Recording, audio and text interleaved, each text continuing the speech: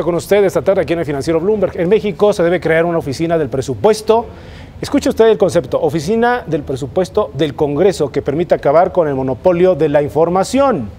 Mariana Campos, de México Evalúa, está aquí para explicarnos. Mariana, bienvenida. ¿Qué tal? Buenas tardes. Buenas tardes. Explíquenos esto. Héctor, es bien importante eh, que haya un correcto balance de poderes en el manejo del presupuesto de un país. Es decir, eh, no debe tener un excesivo poder el el Poder Ejecutivo en el manejo del presupuesto. Eh, ni tampoco un Congreso debe tener em, excesivo poder. Es decir, tiene que estar balanceado para que haya un control efectivo de los recursos públicos. Em, y fíjate, Héctor, que hace unos días, pues más bien hace unas semanas, en, la última semana del año, se publicó en prensa escrita un artículo que criticó el presupuesto aprobado en el rubro de alimentos em, de un área específica de la Secretaría de Hacienda y Crédito Público. Este artículo básicamente señalaba que ese presupuesto aprobado no tenía sentido, eh, sugería que era excesivo para el tamaño del área eh, y también para la función del área, lo cual pudo evidenciar bastante bien.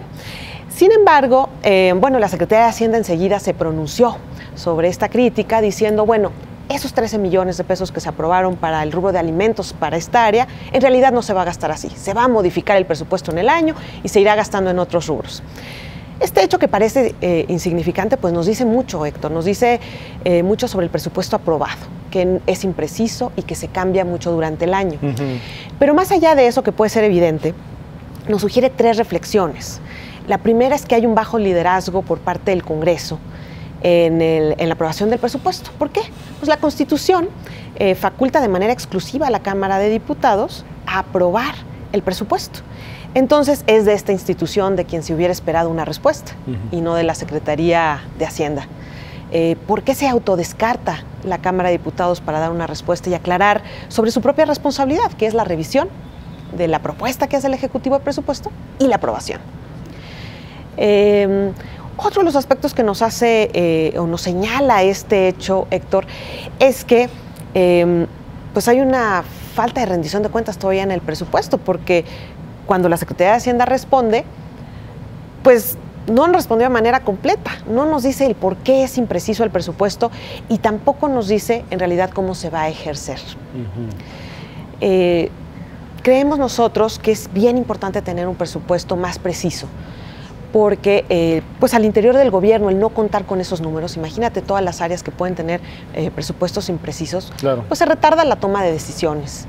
Eh, imagínate que los presupuestos fueran más precisos, pues la gente tiene más certidumbres de qué actividades puede desarrollar, de qué programas puede desempeñar. Entonces nos parece muy importante mejorar esa precisión y creemos que se puede hacer balanceando mejor el poder.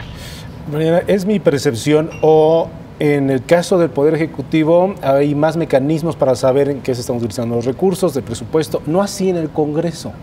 Cuando uno le rasca en las partidas que son otorgadas a diferentes fracciones, en qué se utilizaron, en qué, en qué periodo, difícilmente se nos dan cuenta. En el momento de que los periodistas estamos haciendo esta solicitud, también me imagino en el caso de las organizaciones no gubernamentales, precisamente como México Evalúa. ¿Es así o están por igual? ¿Hicieron esa medición? Sí, fíjate que tienes mucha razón.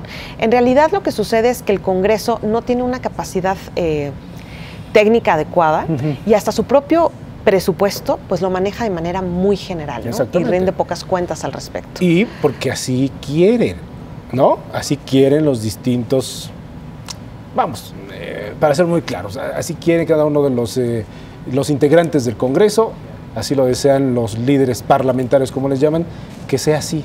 O sea, no se puede, no podemos, porque no quieren, no hay esa voluntad política. Y tendríamos los ciudadanos que, bueno, exigir, ¿verdad?, el que este control... Eh, eh, que tiene el Congreso, pues bueno, fuera más efectivo y también se pudiera reflejar la información eh, de una manera mucho más legible, ¿no? Ahora hay que recordar que el Poder Ejecutivo, bueno, ejerce la mayor parte del presupuesto y que el monopolio de la información sobre el presupuesto en general eh, lo mantiene el Poder Ejecutivo. en otros países, como en el caso de Estados Unidos, en el año, en la década, previo a la década de los 70, sucedía una situación similar. Y en los 70 se hizo precisamente una reforma que hizo que eh, la información del presupuesto también se compartiera con el Congreso para que hubiera un mayor entendimiento y el Congreso realmente fuera un control efectivo sobre el gasto. Es decir, que Congreso pudiera cuestionar al Poder Ejecutivo sobre la pertinencia de ciertos gastos en ciertos programas. Entonces es parte de lo que nosotros estamos promoviendo. Pero eso lo logró Estados Unidos en los 70. En los 70, estamos un poco atrasados, estamos un poco atrasados.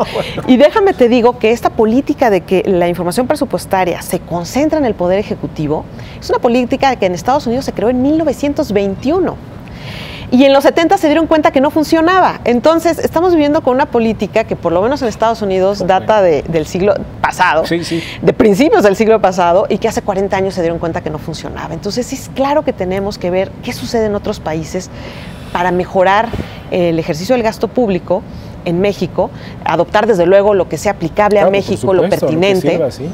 y, eh, y, generar sí una, un mejor control del presupuesto. Porque prácticamente todos los días tenemos encabezados del mal uso de recursos públicos. Por supuesto, por supuesto. Qué bueno que lo traes a la mesa, Mariana. Es un tema que por lo menos aquí en el financiero le estaremos dando seguimiento puntual. ¿Dónde se te puede consultar? ¿Dónde se puede ver más información de lo que nos acabas de mencionar? Sí, pueden consultarla directamente en nuestra página en www.mexicoevalúa.org. También nos encontramos en el Twitter, en arroba mexevalúa. Y personalmente estoy en arroba mariana-c-b en donde también me puedes seguir en Twitter. Mariana, muchas gracias. ¿De qué? Qué gusto tenerte Buenas por tardes. aquí. Hasta la próxima.